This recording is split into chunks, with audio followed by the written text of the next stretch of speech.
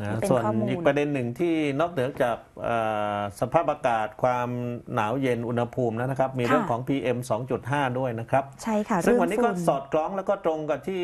มีการพยากรณ์เอาไว้ของกรมอุตุนิยมวิทยาค่ะว่า 21ถึง25 เนี่ย PM 2.5 ในเมืองนะครับในกรุงเทพจะมีปัญหาเลยนะนะ21ถึง25 26 นะค่ะในช่วงะครับทำลาย PM 2.5นี้นี่ข้อมูลจากกรมควบคุมมลพิษค่ะนะครับถ้าดูในกรุงเทพวันนี้เนี่ยแถวเขตธนบุรีเนี่ย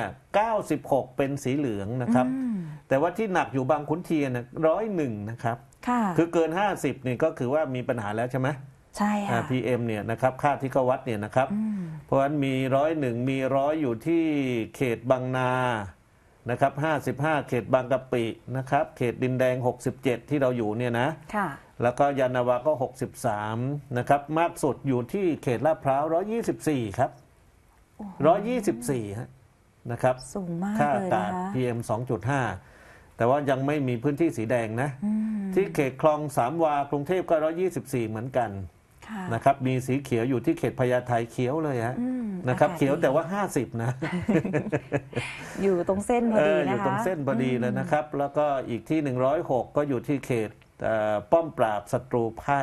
ค่ะนะครับร้อยหกอีกที่หนึ่งนะครับย่านลาดพร้าวบางจุดนะครับอืมพระรามสี่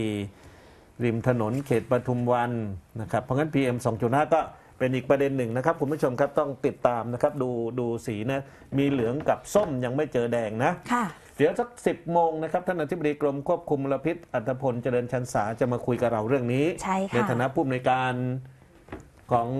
ดูแลเรื่องมลพิษเนี่ยนะใช่ค่ะนะครับเดี๋ยวท่านจะมาท่านคุยกับเป็นเรานะครับผู้อำนวยการศูนย์แก้ไขปัญหามลพิษทางอากาศ หรือสกพที่เราได้นำอินโฟให้คุณผู้ชมได้เห็นนะคะครับแล้วก็บอกคุณผู้ชมนิดนึงสีฟ้านี่คือดีมากสีเขียวดี